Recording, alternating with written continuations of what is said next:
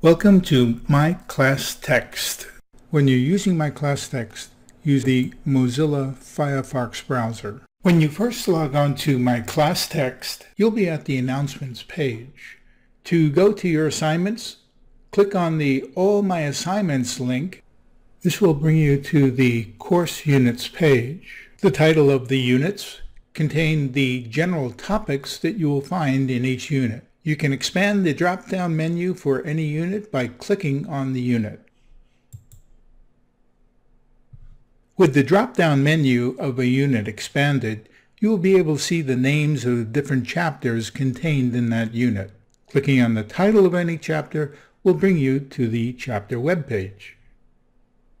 The chapter web page will contain the chapter title. The chapter web page will also include important chapter resources. The chapter resources may be in the form of videos or they may be in the form of documents. These documents can be downloaded to your computer and used as you take the course. At the bottom of the chapter webpage are the chapter assignments.